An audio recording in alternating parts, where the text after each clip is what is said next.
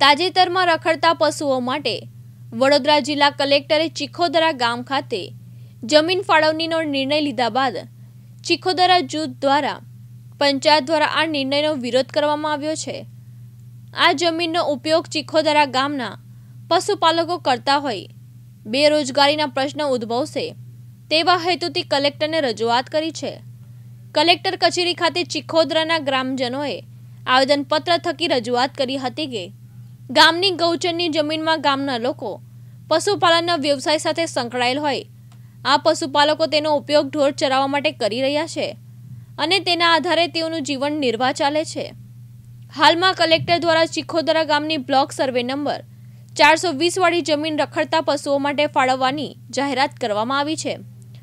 જેથી ચીખોદર ગામના પશુપાલકોની જીવાદોરીનો પ્રશ્ન ઉદ્ભવ્યો છે અને પશુપાલકોને આર્થિક નુકસાન પણ થવાની શક્યતા છે.